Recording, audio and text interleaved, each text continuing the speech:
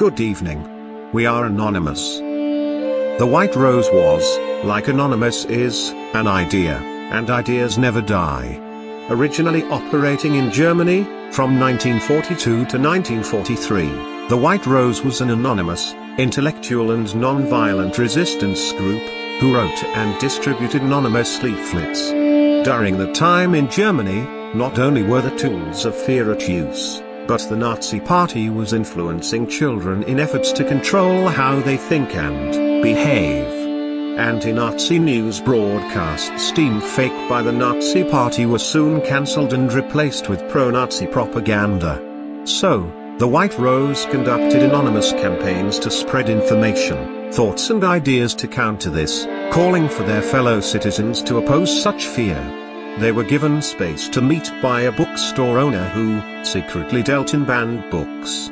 Their leaflets were, written anonymously and asked their fellow citizens to fight for the future and always have hope. They spread their ideas in every public space they could, risking, and in some cases losing their lives while doing so. Those who received leaflets were prompted to protect their fellow citizens from criminal dictators and to support the resistance movement, freedom of speech and freedom of religion. To this idea, a white rose stands for purity and innocence in the face of evil. These words, the last of Hans Scholl, let freedom live, ring as true today in the United States of America, as they did then in Germany. As good citizens we, and that means you too are obligated to keep this idea alive. Our country needs us, for it is completely dysfunctional, it currently cannot heal, and lacks proper leadership. Some of you listening now will become the leaders we need, and we are so happy you are here. When the time comes, we will be ready to serve you faithfully. We need to work together, to find ways to help our fellow citizens, even the ones we dislike. Yet we must be prepared at the same time for the fight which looms. We all remember the 6th of January, 2021, and their threat it exposed. Anonymous will never tell people who to vote for, but with certain adverse ideas of others at play, we can continue ours by sharing it loudly, by stating the facts about how things are, and trying to motivate our fellow citizens to help our homeland truly heal and move forward in a positive way, towards what is best for all of us, not just a few. What is best for that few is, for us to continue hating and fighting each other. That is why, now, we are all stuck in this sick mess together. We have been divided, and our leadership does not provide ways to heal, only how to continue that hatred. So currently, we face two not so good options two parties known for lies and scandals. If one party wins, fear has been spread that our beloved constitution will no longer have the respect and authority it is deserved, nor will it apply to everyone. We are told to expect the dismantling and perversion of certain government agencies, departments etc., which many of us rely on, especially our children, who are the future of our country. There are numerous implied national and global repercussions of this party's implied win. Then on the other hand, if that same party loses, fear has been spread of a so-called civil war. Ideas never die, as is the white rose, so is anonymous. We will combat this fear in a non-violent manner. Love is key in this, and should always be. Love for yourself. Love for your family. Love for your neighbors no matter what sign or flag is in their yard. Love for our wonderful home, the United States of America. We love you all. No matter your political affiliation, your religion, color of your skin, nor your identity by any matter, we love you all. We, together, have to share this land. We must learn to shed this fear of the rich and their unstable power. We must take back our government and teach both parties a lesson. Join us. The idea may be yours too, if you so choose. Be anonymous. Be the White Rose. Or just be you. It does not matter, just as long as you be the change you wish to see, because if you do not, then others will do it for you. We all let this happen, so we can all fix this.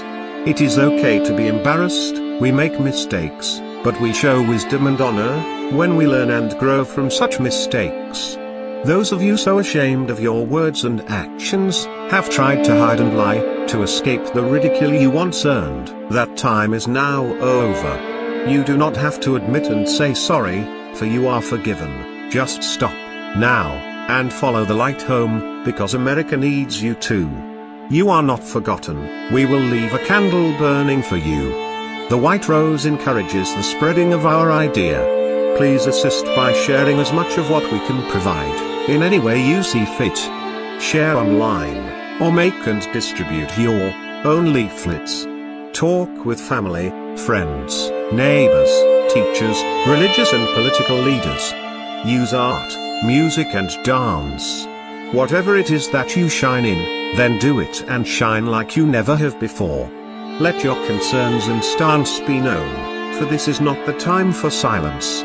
The White Rose will do its best to provide information to help in understanding, preventing and fighting the darkness, which we all face. We will start by initiating five operations, which we will only participate in to a certain level. Anonymous and the White Rose may not speak for America. We, as Americans, must speak our piece individually, on this journey together. Neither can Anonymous offer you protection. We cannot and will not fight back or defend anyone more than we are already doing. After those five ops, we will do our best to continue providing information and guidance. As always, we will try to publish music, poetry and art in an attempt to keep morale up and motivation rolling. We are all brothers and sisters, and we do not have to like each other, but since in this together, we must get along and help each other back up. Do it for the kids, they need better examples. The success of Anonymous Project White Rose and its five operations will only be achieved through the hope, motivation and will of the common citizen, that means you. So, do not seek to impress us, rather, strive to impress yourself. We believe in our fellow citizens, all of you, and we love you and our country, for better or worse. For those of you who may take our idea so close to heart you become the idea, then hello, welcome, and remember, do us and yourself, proud, by remaining non-violent. Take care of yourself and those you care for. Keep yourself healthy, strong and safe. Stay vigilant and keep love in your heart. We need you. America needs you. And above most, our children need you, for they are the future. Let us stand together, for a future we can all be proud of. You matter, you belong and, you are more powerful than you think. Believe in yourself. We will no longer remind you all to remember, remember, the 5th of November, for no matter which way things go, November 5th of 2024, will most likely never be forgotten. Changes in the wind. Brace yourselves. Always keep hope and we will see you on the other side. We got this. We are anonymous, we are the White Rose, and we are Legion. We may forgive, but we never forget. Ideas never die.